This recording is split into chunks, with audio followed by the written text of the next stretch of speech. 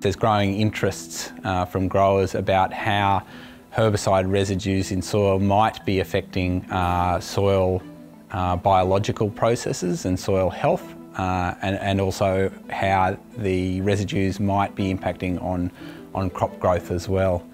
So for the last five years we've been looking at that issue uh, and trying to better define uh, and benchmark what the level of residues is in soil at the, at the start of the growing season, so it's sowing, um, and what, what is the meaning or what's the relevance of those um, herbicide residues in soil.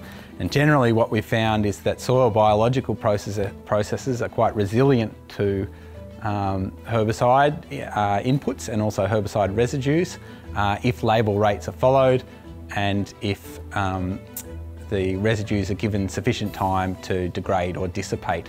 If you're getting herbicide accumulation in your soil, uh, then there can be some issues. Um, and I guess the higher risk herbicides there are the Group B and the Group I herbicides.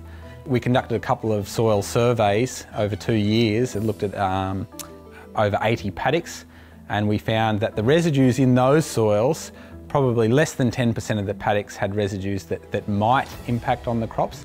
And generally in, that, in the 10% where those residues could impact crops, uh, most of the issues were avoided by the growers and agronomists selecting cultivars or, or, crops that were tolerant to those herbicide residues.